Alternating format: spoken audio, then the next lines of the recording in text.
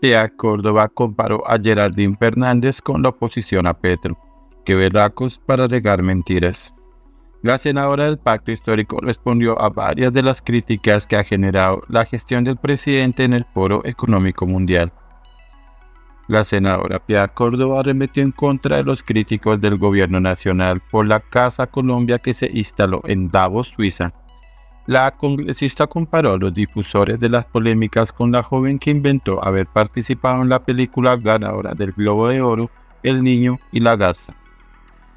La congresista compartió la publicación de su compañero, el representante de la Cámara, Alfredo Mondragón, quien compartió un video del ministro de Hacienda, Ricardo Bonilla, desde el Foro Económico Mundial, en el que hizo referencia al café que ofrece Colombia en su stand publicitario, que fue criticado por ser una marca española. Este café es colombiano. El comercializador es un español, pero este café es netamente colombiano. Miren, está avalado por la Federación de Cafeteros. La imagen que salió públicamente solo salió esta cara de frente, no salió esta, reverso dijo el ministro desde la Casa Colombia en Davos.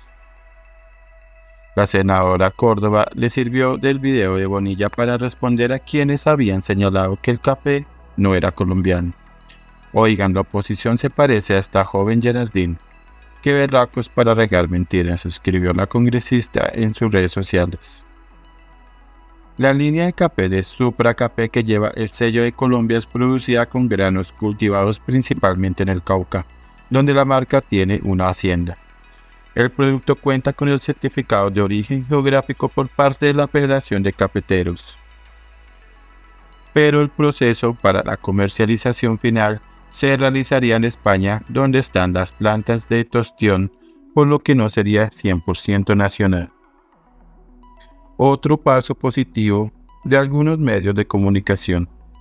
El café que se promociona en Davos sí es colombiano se les olvidó mostrar la segunda cara del paquete, señaló el representante Mondragón al compartir el video del ministro de Hacienda desde Davos.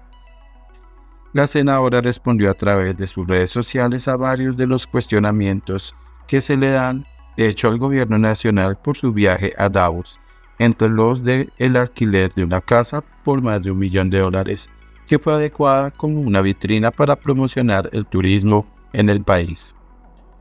Vea pues, entonces Davos resultó ser una gran vitrina donde se asoman presidentes y grandes empresarios del mundo. Cuando Pastrana, Santos, Uribe o Duque hacían este tipo de cosas, los medios de derecha lambones le echaban flores. Señaló al compartir un video del mexicano Luisito Comunica, quien explicó que las marcas y los países realizan instalaciones publicitarias en estos espacios comerciales. Cuando Duque Santos Uribe Pastrana hacían eventos costosos en otros países, sus fotos salían en la sección de parándula de los medios y nadie preguntaba por los costos. Hoy cuando lo hace arroba Petro Gustavo se escandalizan.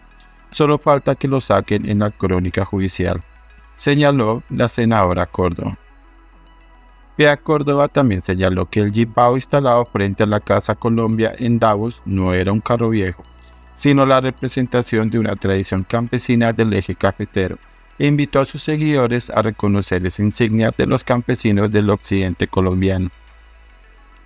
La congresista del Pacto Histórico también se refirió al nombramiento de Aldo Cadena como presidente de la nueva PS, que ha sido cuestionado por la gestión que realizó en Capital Salud cuando Petro era el alcalde de Bogotá y Guillermo Jaramillo su secretario de Salud. Si la oposición derecha, que incluye al centro morrongo, está tan escandalizada con el nombramiento de Aldo Cadena, quiere decir que vamos por el camino correcto. Ellos extrañan a Palacino.